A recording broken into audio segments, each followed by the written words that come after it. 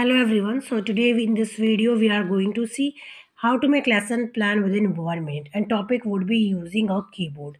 This is computer lesson plan. If you need the whole lesson plan then please do check it in the description box. Okay. So let's see how to make this lesson plan. Here you can see all the question that we have to ask to students. So these are the five questions that you can ask to students. And these are these are the answers that we expect from students. Okay. So after that we have to give the statement of our aim. Okay so like this we have to make the introduction part of our lesson plan. Now let's see presentation part. So this is presentation 1 you can see presentation 2 here. And this is the question related with that. And these are the question related with presentation 2 okay this is the answers. And these are the blackboard work. Okay so here you can see rest part of the presentation too so please do like, share, and subscribe if you like this video. Do not forget to like, share, subscribe. Thank you.